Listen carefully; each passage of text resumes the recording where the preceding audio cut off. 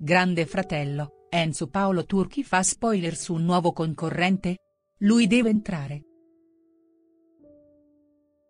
Il ballerino è uno dei concorrenti più amati dal pubblico del reality show e potrebbe aver svelato il prossimo Geffino che varcherà la porta rossa. Durante la seconda puntata del Grande Fratello, Alfonso Signorini ha spiegato ai concorrenti che, nelle prossime settimane, saranno raggiunti da altri nuovi Geffini. Il conduttore ha detto, Inquilini come vedete la casa si sta arricchendo di nuove presenze. Siete parecchi oramai. Vi dico già che non è finita qui e che ci saranno altri Geffini. Il gruppo non è ancora quello finale. Vi avviserò io quando sarete al completo e sarò chiaro su questo.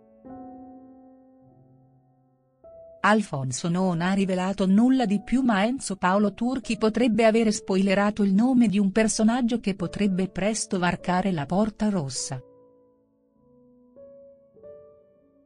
Le parole di Enzo Paolo Turchi.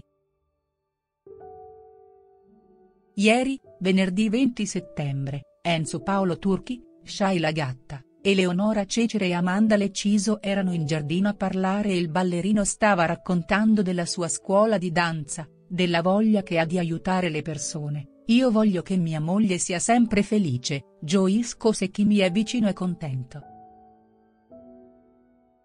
La mia vita è sempre stata questa perché io sono un altruista. Quando vedo la gente la voglio felice, ve lo giuro. Sono uno che vive anche della gioia degli altri. Ho sempre vissuto così.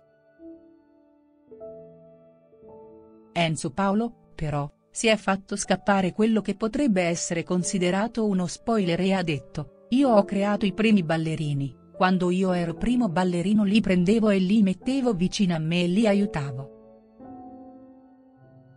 Li portavo io a lavorare. A Luca, Luca Tommasini, l'ho preso a nove anni. Luca deve venire pure lui qui dentro deve entrare. Sarà davvero così?. La sensibilità di Enzo Paolo Turchi.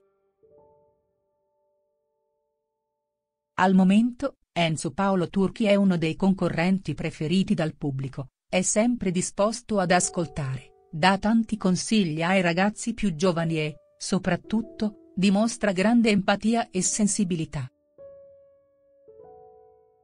Nei giorni scorsi, stava raccontando il suo amore per la moglie Carmen Russo e la loro bambina Maria e ha spiegato.